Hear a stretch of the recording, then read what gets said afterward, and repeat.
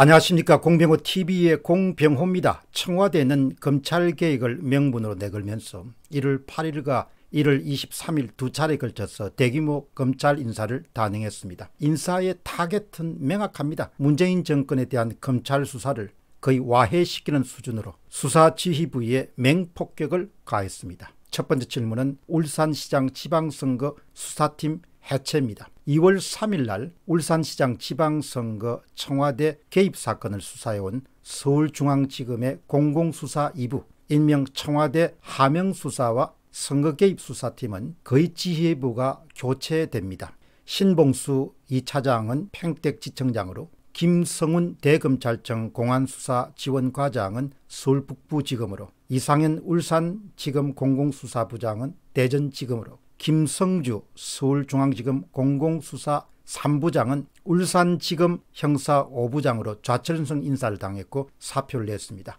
유일하게 남은 사람은 김태은 부장검사입니다. 서울중앙지검 공공수사 2부장만 유임됐을 뿐입니다. 이 말은 문재인 정권이 더 이상 울산시장 지방선거 청와대 개입 사건을 수사하지 말라, 더 파헤치지 말라 이렇게 수사 개입 의도를 정확히 실행에 옮긴 것을 뜻합니다. 따라서 앞으로 정권 교체가 되면 의도적으로 검찰 수사팀을 식물하거나 와해시키는데 혁혁한 공을 세웠던 인물들에 대해서 엄중한 법적 책임을 물어야 될 것입니다. 역대 어느 정권에서도 수사팀 자체를 해체하면서 검찰 수사를 방해하는 사례는 없었습니다. 다음 질문은 수사팀의 행보입니다.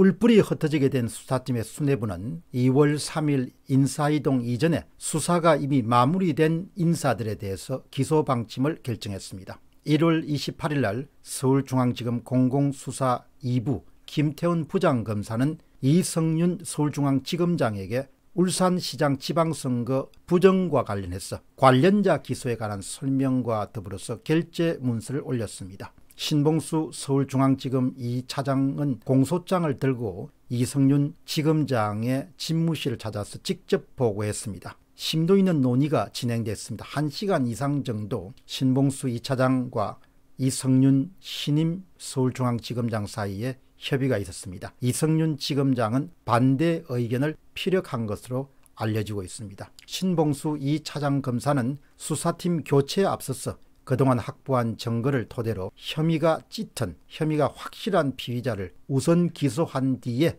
수사팀에게 수사기록 전부를 넘김으로써 계속해서 수사가 이어지도록 할 그런 계획을 갖고 있습니다. 물론 이 계획이 실현될지는 아직은 확신할 수가 없습니다. 이날 신봉수 이 차장 검사는 결재 문건에서 백운우 전 청와대 민정비서관 박형철 전 청와대 반부패 비서관, 송철호 현 울산시장, 송병기 전 울산시 경제부시장 등을 주요 피의자 승인에 관한 결재 문서였습니다. 이번 기소에서 핵심 사건 관계자인 이광철 청와대 민정비서관과 임종석 전 대통령 비서실장은 빠졌습니다. 이유는 이광철 청와대 민정비서관은 그동안 검찰 측의 소환 요구에 불응해 왔습니다. 검찰 조사를 받지 않았기 때문에 이번에는 잠정적으로 기소 대상에서 제외됐습니다. 임종석 전 대통령 비서실장도 검찰 소환에 응하지 않았습니다. 이들에 대해서는 각종 증거를 좀 정리한 다음에 소환 조사를 마친 다음에 기소할 방침이라고 합니다. 다음 질문은 이성윤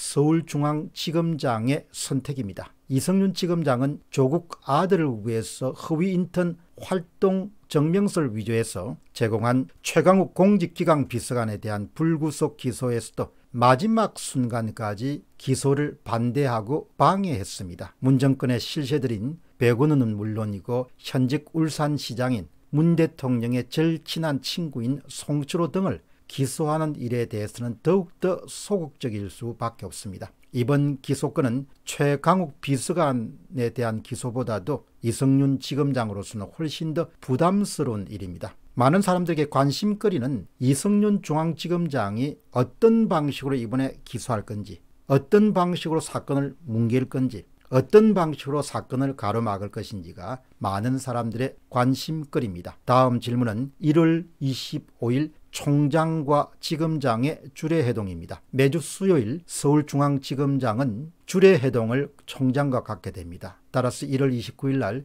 이성윤 지검장은 윤석열 검찰총장에게 정기적으로 업무 보고를 하는 날입니다. 1월 29일 날 주례 보고 일정이 잡혀있기 때문에 이 보고에서 이성윤 서울중앙지검장이 울산 사건 기소와 관련해서 자신의 의견을 피력할 것으로 보입니다. 주례 해동에서 이성윤 서울중앙지검장은 수사팀의 결재를 처리하지 않은 것에 대해서 어제 1월 28일 날 결재가 올라온 것을 처리하지 않은 것에 대해서 해명을 하거나 아니면은 자신만의 독특한 기소 반대 의견을 피력해야 될 그런 책임을 안고 있습니다. 현재 윤석열 검찰총장은 새로운 수사팀이 수사 업무를 접수하는 2월 3일이 되기 이전에 현재 수사팀이 중간 수사 결과를 발표하고 동시에 관련자들을 기소하는 것에 힘을 모아주고 있습니다. 이미 여러분들이 확인했다시피 이성윤 신임 서울중앙지검장은 청하국 비서가 내 기소권에 대해서